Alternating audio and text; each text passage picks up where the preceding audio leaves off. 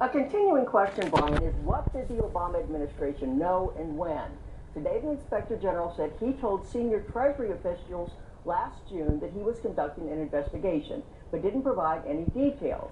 He informed Secretary Jack Lew of the review in March. Lew said today he learned of the findings only last week. Brian?